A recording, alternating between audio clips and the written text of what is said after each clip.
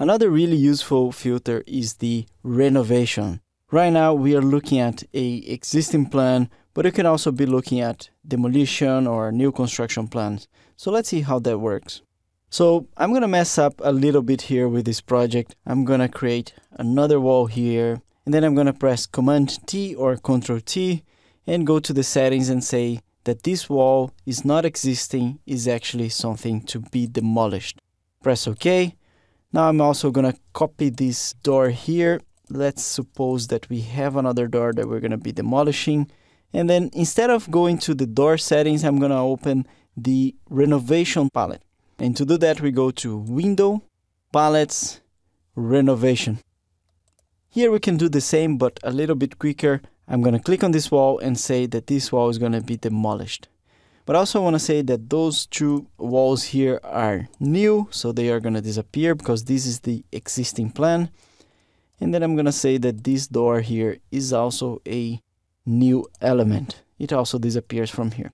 Now, if I change from existing plan to demolition plan, you notice that ArchiCAD is showing in gray everything that is to be demolished, including the wall hole for the new door.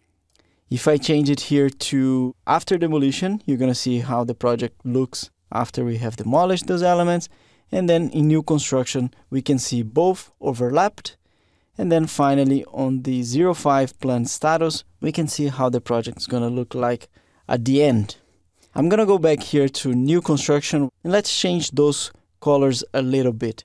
So ArchiCAD is now overriding the colors of demolition and new construction using those graphic override rules.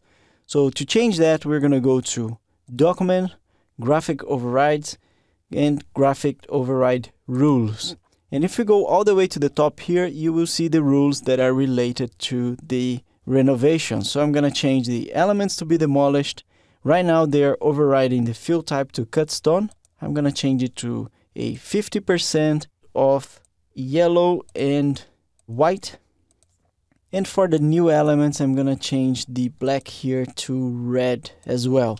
You can use the colors that are good practice in your region. Some places prefer blue or red. Some other places prefer yellow and blue. I'm gonna stick to the ArchiCAD ones here and notice that we are also overriding all the surfaces in 3D to this paint orange for the new elements.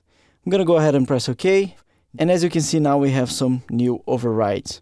One other tip that I would give you is that you can also set renovation status for some 2D elements. For example, I'm gonna create here some dimensions and then I'm gonna say that this dimension is also a new wall. So when I change to existing plan, I don't see those dimensions, but when I go to planned status, they are here. So that's an overview of renovation.